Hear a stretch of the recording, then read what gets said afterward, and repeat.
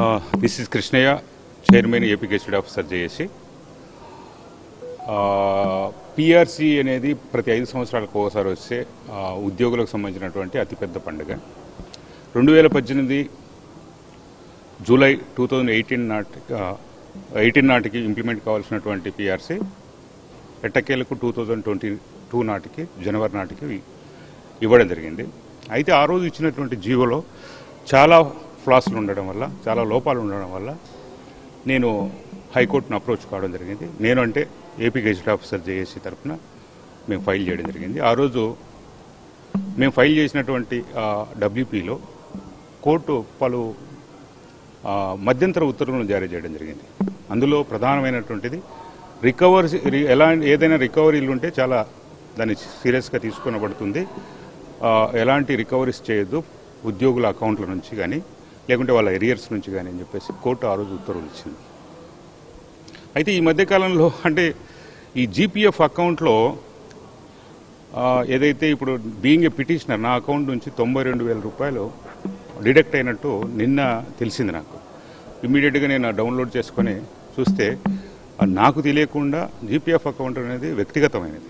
ఉద్యోగులకు వ్యక్తిగతమైనటువంటి ప్రావిడెంట్ ఫండ్కు సంబంధించి రిటైర్డ్ అయిన తర్వాత మేము డ్రా చేసుకుండే లేదా మధ్యలో ఏదైనా అవసరాలు పిల్లల పెళ్ళిళ్ళు కావచ్చు పిల్లల చదువులు కావచ్చు వీటికి సంబంధించి మేము ఆ జీపీఎఫ్ అకౌంట్ నుంచి డిడక్ట్ చేసుకొని మేము వాడుకుండే వ్యక్తిగతమైనటువంటి ఒక ఉద్యోగులకు సంబంధించినటువంటి అకౌంట్ ఆ అకౌంట్ నుంచి తొంభై రెండు వేలు నాది తొంభై రెండు వేలు. చాలామంది ఉద్యోగులది లక్ష పైనే కొంతమంది ఉద్యోగులది.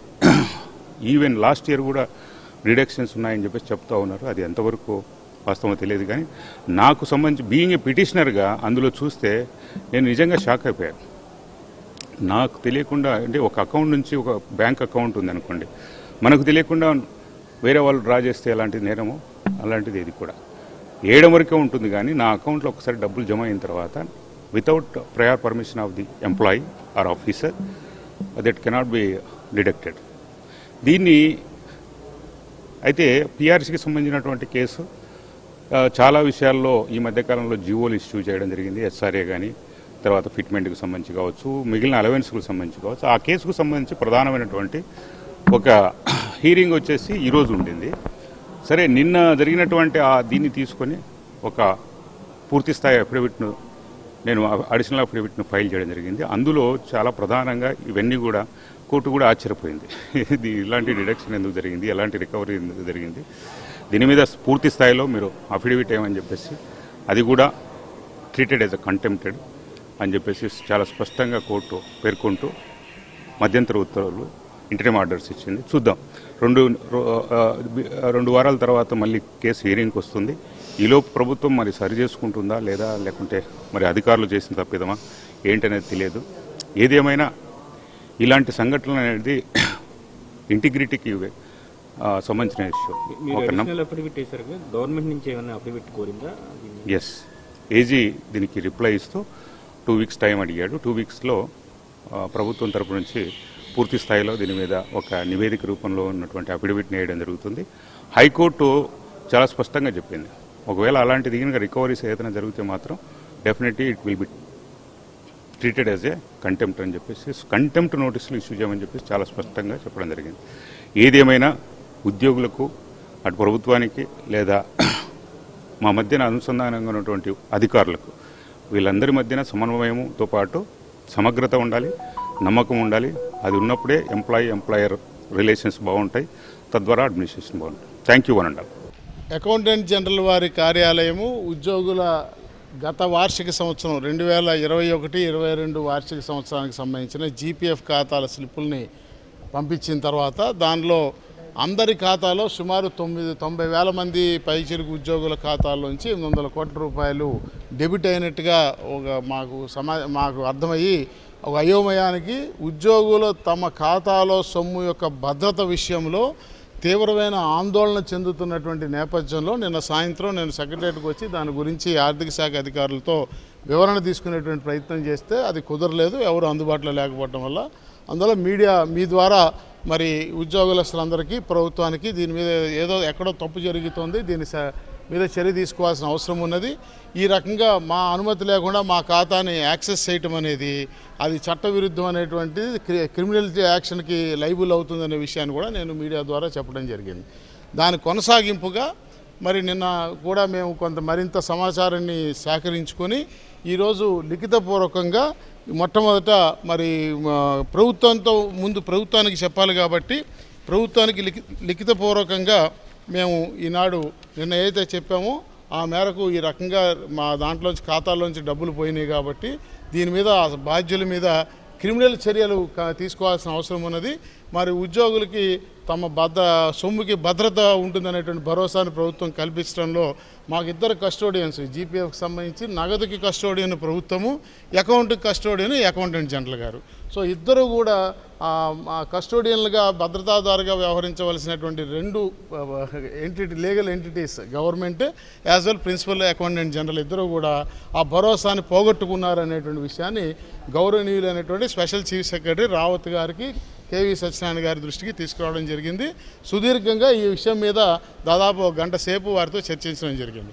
దానికి వారు ఇచ్చినటువంటి వివరణ ఏమాత్రము మాకు సంతృప్తి కలిగించలేదనేటువంటి విషయాన్ని కూడా ఈ సందర్భంగా తెలియజేస్తా ఉన్నా.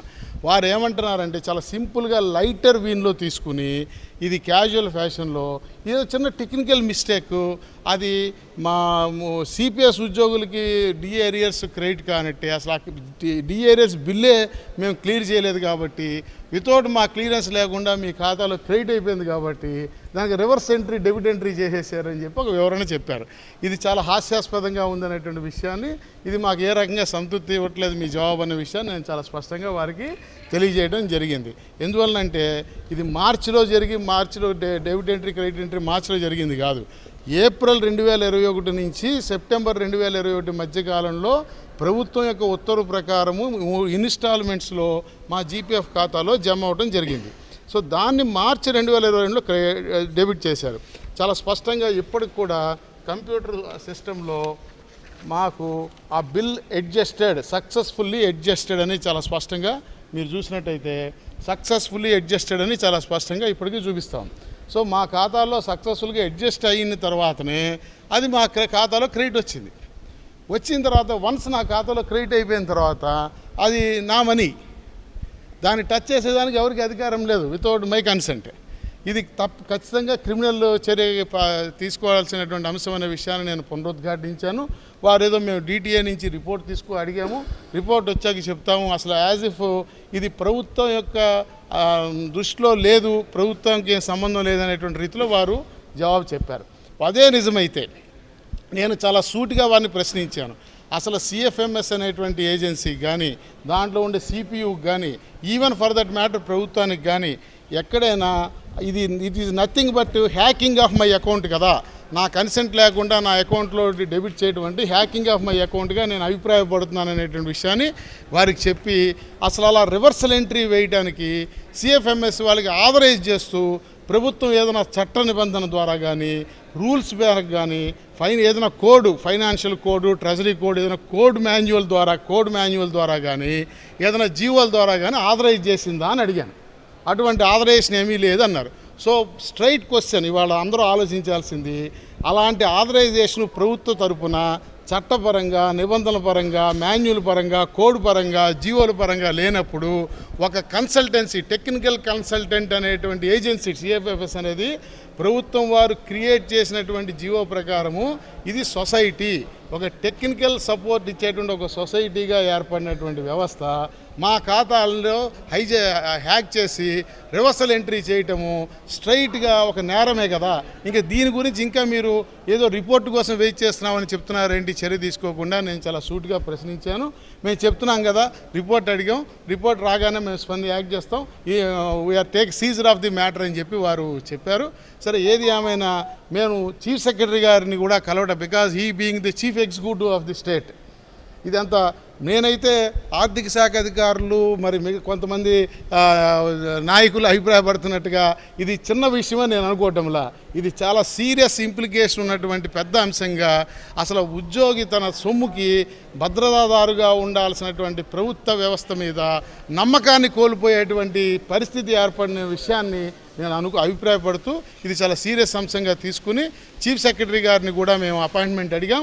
వారు రేపు ఉదయం పన్నెండు గంటలకి నాకు అపాయింట్మెంట్ ఇచ్చారు. తప్పనిసరిగా రేపు చీఫ్ సెక్రటరీ గారితో కూడా మాట్లాడతాం. అలాగే ఇప్పుడు నాలుగు గంటలకి కేంద్ర ప్రభుత్వ ఏజెన్సీ అయినటువంటి ప్రిన్సిపల్ అకౌంటెంట్ జనరల్ ఎవరైతే రెవెన్యూ ఎక్స్పెండిచర్ అడ్మినిస్ట్రేషన్ చూసేటువంటి మేడం గారు ఉన్నారో మల్లికార్జున మేడం మేడం మాధవి మల్లికార్జున గారు ఉన్నారో వారిని అపాయింట్మెంట్ తీసుకున్నాం. వారు నాలుగు గంటలకు ఇప్పుడు అపాయింట్మెంట్ ఇచ్చారు.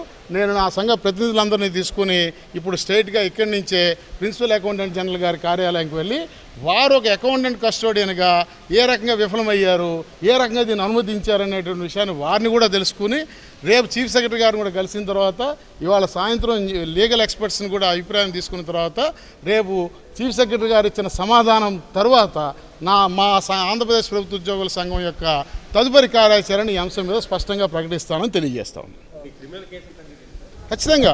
See before I go move ahead ఇది ఇదో ప్రైవేట్ పార్టీ ఒక ఇండివిజువల్ నా పాకెట్ బుక్ కొట్టేశాడు పిక్ పాకెటింగ్ కేసు నేను పోయి క్రిమినల్ కేసు పెట్టేటువంటి వ్యవహారం కాదు కదా. It is a larger issue that's what నేను అభిప్రాయపడుతున్నది చాలా విశాలమైన విస్తృతమైనటువంటి అంశము. బిఫోర్ వీ గో హెడ్ ఈ విషయంలో ముందుకు వెళ్ళేటువంటి ముందు సంబంధిత ఏజెన్సీస్ సంబంధిత అధికారులు న్యాయ నిపుణులందరినీ కూడా సలహా తీసుకోవాల్సిన అవసరం ఉంది. ఖచ్చితంగా మేము మాత్రం ఆంధ్రప్రదేశ్ ప్రభుత్వ ఉద్యోగుల సంఘం మాత్రము నే మేము క్రిమినల్ కంప్లైంట్ మాత్రం లాడ్జ్ చేసేదానికి స్థిరంగా నిర్ణయం తీసుకున్నాము. ఖచ్చితంగా అయితే అది ఏ ఎవరిని ఎవరి మీద మేము కంప్లైంట్ ఇవ్వాలా? ఎవరిని మీద ఎఫ్ఐఆర్ బుక్ చేయాలా? ఎవరిని నేరస్తులుగా మేము ప్రతిపాది మేము చూపించాలనేటువంటి విషయము వీళ్ళు ఇచ్చిన వివరణ తర్వాత మా లీగల్ ఎక్స్పర్ట్స్ చెప్పినటువంటి గైడెన్స్ మేరకు తీసుకుంటాం. రేపు చీఫ్ సెక్రటరీ గారిని కలిసిన తర్వాత తప్పనిసరిగా నేను పత్రికా విలేకరులతో మా సంఘం యొక్క తదుపరి కార్యాచరణ చాలా విస్పష్టంగా ప్రకటిస్తాను. యా. ఇదే ప్రశ్న నిన్న కూడా మీరు అడిగారు నిన్న కూడా నేను వివరణ ఇచ్చాను. లాస్ట్ టైము మీకు చూపినప్పుడు మాకు మొబైల్ ఫోన్లో వచ్చిన ఎస్ఎంఎస్ తప్ప నా దగ్గర లిఖితపూర్వక ఆధారం లేదు. ఈసారి ఆర్థిక సంవత్సరం తాలూకు ఎంటైర్ స్టేట్మెంట్ని కేంద్ర ప్రభుత్వ ఏజెన్సీ అయిన ప్రిన్సిపల్ అకౌంటెంట్ జనరల్ గారు వారి అధికారిక వెబ్సైట్ ద్వారా ప్రతి ఈచ్ ఈచ్ ఇండివిజువల్కి మాకు మా ఖాతా స్క్రిప్ట్ని పంపించారు. So now I have a return evidence to large a complaint ఇంతకుముందు ఎస్ఎంఎస్ మాత్రమే వచ్చింది. దా అది కూడా ఇప్పుడు ఇచ్చిన అకౌంట్లో రిఫ్లెక్ట్ అయింది. ఆనాడు నేను చెప్పింది కూడా అబద్ధం కాదు. జిఆర్యూ రీసెర్చ్ ఎడ్యుకేషన్ ఆనాడు ఇదిగో చూడండి. ఇది ఇరవై ఇరవై ఒకటి ఆర్థిక సంవత్సరం. ఇది ఇరవై ఇరవై ఒకటి ఆర్థిక సంవత్సరం తాలూకు అకౌంట్ స్లిప్లో ముప్పై ఐదు వేల రూపాయలు ఒక ఎంప్లాయీకి ఫిబ్రవరి మార్చి నెలలో డెబిట్ చూపించారు. ఇది లాస్ట్ టైం నేను చెప్పింది. అప్పుడు మాకు ఈ స్టేట్మెంట్ రాలా. కేవలం నా ఒక్కడికి ఇండివిజువల్ ఎస్ఎంఎస్ మొబైల్కి వచ్చింది. మొబైల్లో ఉన్న ఎస్ఎంఎస్నే మీకు ఆ రోజు స్క్రీన్ షాట్ తీసి చూపించాం. ఇదే ఉద్యోగికి ఇరవై ఒకటి ఇరవై రెండు ఆర్థిక సంవత్సరానికి తిరిగి లక్షా ఏడు వేల రూపాయలు డెబిట్ అవుతూ వచ్చింది తీసేస్తూ. ఈ ఇరవై ఒకటి ఇరవై రెండు ఆర్థిక సంవత్సరంలో ఇరవై ఇరవై ఒకటి ఆర్థిక సంవత్సరంలో డెబిట్ అయినటువంటి మొత్తం తిరిగి మళ్ళీ ఎక్కడ క్రెడిట్ చేసినట్టుగా కూడా ఈ లావాదేవీ రికార్డు కాల. అంటే లాస్ట్ ఇయర్ పోయింది మళ్ళీ జమ కాల నేనేదైతే లాస్ట్ ఇయర్ మీకు చెప్పానో అది ఇప్పటికీ జమ కాలేదు ఆ విషయాన్ని కూడా ఇప్పుడు గౌరవనీయులు మన రావత్ గారి దృష్టికి తీసుకొచ్చాం. అది ఎన్ని వందల కోట్లు నాకు తెలియదు అది మేము ఇంకా అసెస్ చేయలేదు. ఇప్పుడు ఇప్పుడు దీనికోసం కసరత్తు చేస్తుంటే ఇప్పుడు అది కొంత కొంతమందికి వచ్చిందన్నారు కొంత రాలేదన్నారు. సో ఈచ్ ఇండివిజువల్ అకౌంట్లో వెరిఫై చేయాలి. అది ఇప్పుడు ఇప్పుడు గంటలో నేను ఎక్స్ చేసేటువంటి కసరత్తు కాదు.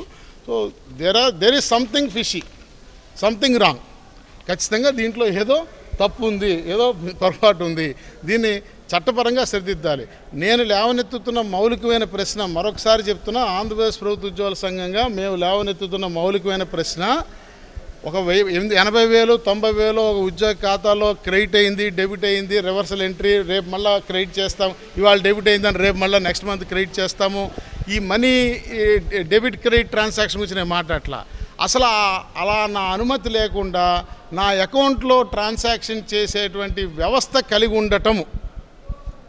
చట్ట ప్రకారం ఏ చట్ట ప్రకారం భారతదేశంలో అను అమల్లో ఉన్న ఏ చట్ట ప్రకారం ఏ ఫైనాన్షియల్ కోడ్ ప్రకారం ప్రభుత్వం యొక్క ఏ రూల్స్ ప్రకారము ఇది అను అనుమతించబడుతుందో చెప్పాల్సిన అవసరం ఉంది. ఎస్ ఖచ్చితంగా. దానికి ఈరోజు వరకు ఎటువంటి రూల్స్ లేవు. మీరు అడగండి నేను అడిగాను ఇందాక రావత్ గారిని. మీరు ఇచ్చినటువంటి జీవోలు రూల్స్ ఏమైనా ఉంటే నాకు యాక్సెస్ చేయండి. నా చిట్టి బుర్రకి నాకున్న పరిమితమైన అవగాహనకి నాకు నాకు అర్థమైంది ఇది. ఒకవేళ మీరు ఏమైనా ఉత్తర్వులు ఇచ్చుంటే ఏ చట్ట ప్రకారం రూల్స్ ప్రకారం ఇచ్చారో చూపిమని అడిగా. ఇది చూడండి ఇది. మనకి ఆంధ్రప్రదేశ్ ప్రావిడెంట్ ఫండ్ రూల్స్ అని మనకి ఉన్నాయి. మా జీపీఎఫ్ అకౌంట్లోంచి మేము డబ్బులు ఎలా విత్డ్రా చేసుకోవాలనే దానికి సంబంధించి ఆ అకౌంట్ని ఎలా మెయింటైన్ చేయాలనే దానికి స్పష్టమైనటువంటి రూల్స్ ఉన్నాయి. ఈ రూల్స్లో నా ఖాతాలోంచి నేను డబ్బులు డ్రా చేసుకోవాలన్నా కూడా ముప్పై రెండు నిబంధనలు ఫాలో అవ్వాలి. నా ఖాతాలోంచి నేను నా సేవింగ్లోంచి నేను డబ్బులు డ్రా చేసుకోవాలన్నా కూడా I have to follow certain rules and regulations. అలాంటిది నా ఖాతాలో ఎవడో డ్రా చేసేటువంటి దానికి సంబంధించిన నియంత్రించేటువంటి నిబంధనలు ఎక్కడున్నాయి? రూల్స్ ఎక్కడున్నాయి? అసలు సిఎఫ్ఎంఎస్ అనేటువంటి వ్యవస్థ అలా వ్యవహరించడానికి ఉన్న చట్టబద్ధత ఏంటి? ఏ చట్ట ప్రకారం వారికి ఆ అధికారం సంక్రమించింది? ఎవరు చేశారు ఇది? వాళ్ళ మీద నువ్వు ఎందుకు చర్య తీసుకోవట్లేదు ప్రభుత్వం? ఎందుకు మీనమేషాలు లెక్కేస్తుంది ఇంకా? ఇన్ని ఇన్ని వేల మంది ఉద్యోగులుగా ఒక ఆందోళనకు గురి చేసిన అంశం మీద ఎందుకు ప్రభుత్వం అధికారులు ఇంకా మీనమేష మీనమేషాలు లెక్కేస్తారో నాకైతే అర్థం కావటంలా. అంటే మరి ఏమైనా ప్ర- ప్రభుత్వం వారి ఆన్ రికార్డో ఆఫ్ రికార్డో ఇచ్చిన డైరెక్షన్ ప్రకారమే వాళ్ళు యాక్ట్ చేశారా? లేదా ఆన్ దేర్ ఓన్ యాక్ట్ చేశారా అనేది మనకు అర్థం కావటంలా. ఆ విషయం స్పష్టత ఇవ్వాలి కదా. ఒకవేళ నిజంగా అది ఆర్థిక శాఖ అధికారులు ఇప్పుడు మాకు చెప్పినట్టు అది నిజంగానే టెక్నికల్ మిస్టేక్ అయ్యి ఉన్నట్టయితే మార్చి నెలలో జరిగినప్పుడు ఆనాడే ప్రభుత్వం అది ఒక పత్రికా ప్రకటన ఒక ప్రకటన ఎందుకు ఇవ్వలేదు ఉద్యోగస్తులకి? మీరు ఎవరు కంగారు పడద్దు మీకు ఆదాయం నుంచి డబ్బులు పోతున్నాయని ఇది పొరపాటున మీకు ఇచ్చేసే క్రెడిట్ అయిపోయింది కాబట్టి దాన్ని వెనక్కి తీసుకుంటున్నాము. ఇది టెక్నికల్ మిస్టేక్లో జరిగిందని మార్చిలోనే ఆ ట్రాన్సాక్షన్ జరిగిన రోజే ప్రభుత్వం కనుక ప్రభుత్వం తరపు నుంచి అధికారుల తరపు నుంచి ఏదైనా ఒక ప్రకటన అధికారికంగా ఒక ప్రకటన వెలువడి ఉంచి ఉంటే లేదా ఒక కమ్యూనికేషన్ సర్క్యులర్ ఏదైనా ఇచ్చున్నట్టయితే ఈనాడు వారు చెప్పిన దానిలో సహేతుగా ఉందని అర్థం చేసుకునేవాళ్ళం. ఆనాడ అది చేయకుండా ఇవాళ నేను ప్రశ్నించిన తర్వాత అది టెక్నికల్ మిస్టేక్ అని చెప్పడం హాస్యాస్పదం నేను అభిప్రాయపడతాను.